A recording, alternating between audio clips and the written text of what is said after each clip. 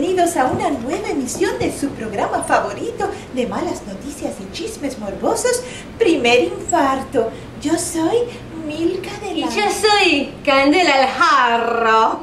Hoy, por séptimo día consecutivo, tuvo una caída en picada al Dow O sea que sus valores se fueron a la mierda. Pero no todo baja, Candela. El desempleo sigue subiendo y subiendo. Parece que lo único que se queda en su sitio son nuestras tetas. Enseñame las tuyas. ¡Qué grandes! Y esta tarde encontraron los restos calcinados del ex representante estatal por el estado de New Jersey y empresario hispano Eduardo Sotomayor. Que dicho sea de paso, estaba buenísimo, aunque ahora está un poco chamuscado.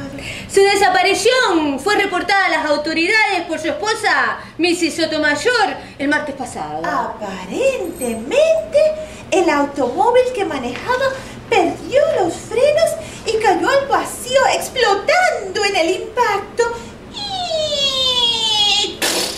La señora esposa, ahora la viuda, puede identificar los restos por el anillo de matrimonio y el roller con las iniciales ES que ella misma le había comprado. Era de él. La viuda se queda con un montón de maravillosos millones para consolarse de tan terrible pérdida. Me parece que va a ser la nueva viuda Ay. Candela, yo quiero que a mí me toque un marido así.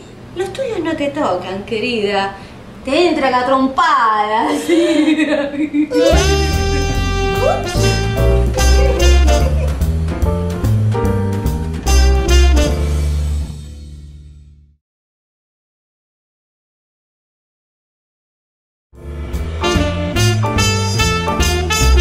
Buenas noches, chismosos televidentes, y bienvenidos a una nueva y caliente emisión de Primer Infarto. Yo soy Milka Delano. Y yo soy Candela el Jarro.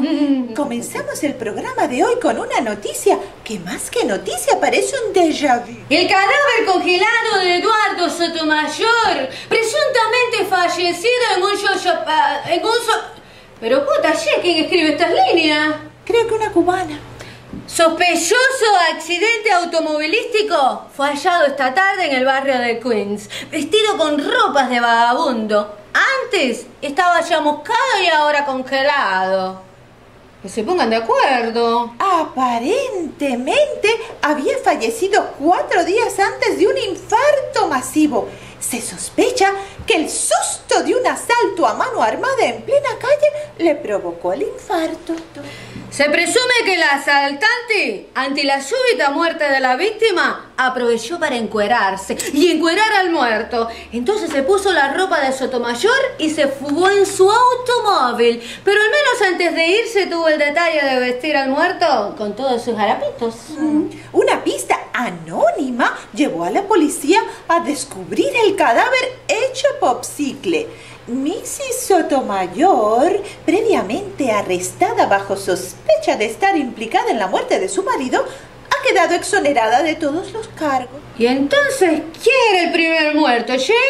No me lo han puesto en el teleprompter, Candela. Ahora me quedo con la curiosidad. ¿Cómo te gusta el chisme, Candela? Me encanta.